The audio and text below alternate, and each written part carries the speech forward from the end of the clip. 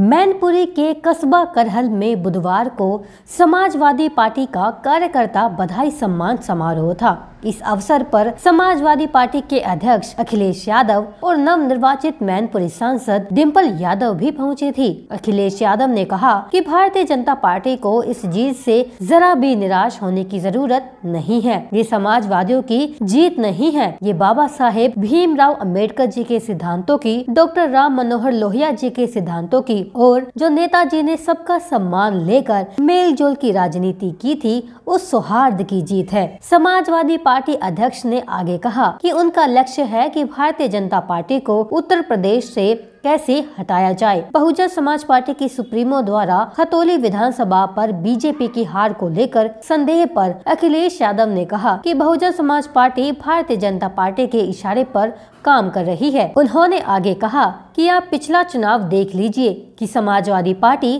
कैसे हारी थी। उस तरीके से टिकट दिए गए और उस पहलू पर मैं नहीं जाना चाहता हूँ। 2024 के लोकसभा चुनाव और महागठबंधन को लेकर अखिलेश यादव ने कहा कि मुझे उम्मीद है कि इसी तरह हम लोग समय समय पर साथ आते रहेंगे।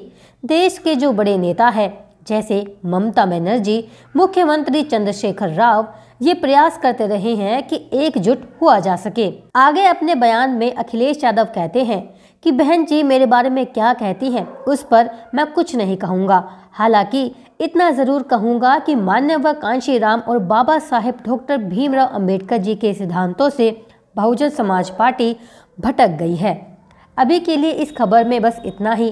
बाकी के न्यूज़ अपडेट्स को जानने के लिए देखते रहिए एस एम न्यूज़। अगर आपने अभी तक हमारा चैनल सब्सक्राइब नहीं किया है तो सब्सक्राइब करें और घंटी का बटन बिल्कुल भी दबाना ना भूलें, ताकि सभी लेटेस्ट खबरें पहुँच सकें आप पे सबसे पहले।